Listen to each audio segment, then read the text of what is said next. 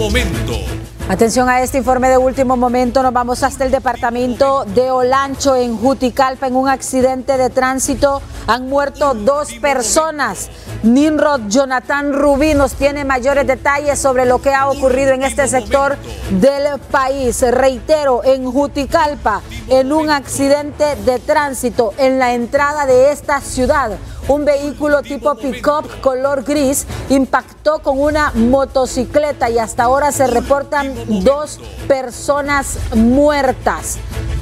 Dos víctimas mortales deja un accidente de tránsito que se registró hace unos instantes en Juticalpa, en el departamento de Olancho. Y también una persona ha muerto en La Paz. En La Paz, ya vamos a estar dando los detalles, pero antes, ¿qué nuevos elementos hay sobre este accidente y las dos víctimas mortales, Nimrod?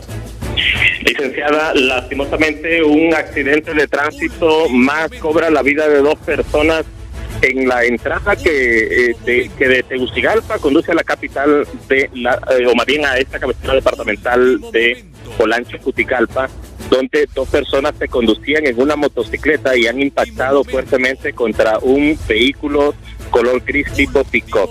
Hasta el momento no se conocen los nombres aún de estas personas, puesto que eh, las autoridades aún no realizan el levantamiento cadavérico de estos dos cuerpos. Podemos decir que dentro de las personas fallecidas hay un menor de edad, un jovencito de aproximadamente unos 11 años, lamentable este accidente de tránsito, ellos conducían en una motocicleta. No hay mayores detalles hasta ahora, puesto que está en desarrollo esta noticia.